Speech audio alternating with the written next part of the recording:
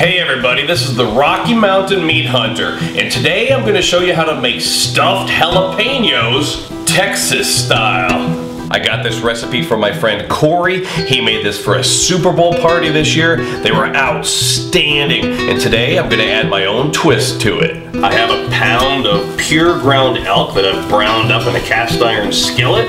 You can pretty much use any type of ground meat. Last time I used Jimmy Dean hot ground sausage. I have a large mixing bowl here and I'll add the one pound ground elk, two eight ounce packages of cream cheese at room temperature, two cups sharp cheddar cheese, and I suppose you could also use Colby or Colby Jack, a half cup of finely chopped red onion, a half cup of finely chopped red bell pepper, a half cup of loosely packed fresh chopped cilantro, four cloves of fresh diced garlic. I'm gonna flavor it to taste, probably one to two teaspoons with Hi Mountain's Mesquite Burger Seasoning. Hi Mountain's Hickory Burger Seasoning is also outstanding for this recipe. Give that a good mix. You might even need to get in there with your hands. I have about 12 or 13 very large jalapeno peppers that I've cut the stem off, cut in two, and taken the seeds and membranes out of. I'll use a teaspoon to fill the peppers, and you want to make sure you get that packed in there. And go ahead and fill those nice and high. Now I'm gonna wrap these up in thick slices of bacon. Go ahead and sprinkle a little bit more of the mesquite seasoning on top.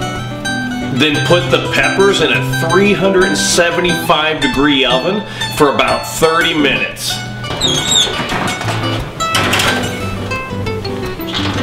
Then just sit by the fire and find some new recipe ideas. Oh yeah! The jalapenos have been cooking for 30 minutes. Now I have a convection oven.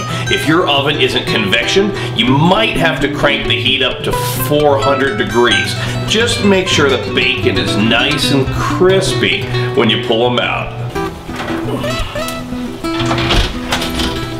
Check that out. We'll go ahead and plate these up.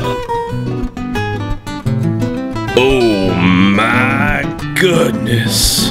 Thanks for joining me today. If you haven't subscribed to my videos, please do so. Also, check out my friends at highmountainjerky.com. And also make sure you visit me at RockyMountainMeatHunter.com where you can get the authentic Rocky Mountain Meat Hunter adjustable apron, t-shirts, and hats. And until next time, this is the Rocky Mountain Meat Hunter saying praise the Lord and pass the stuffed jalapenos Texas style.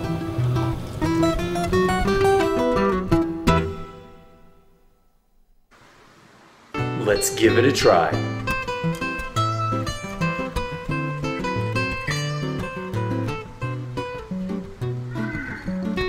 Mmm. the bacon, the jalapeno, and the elk. Mm.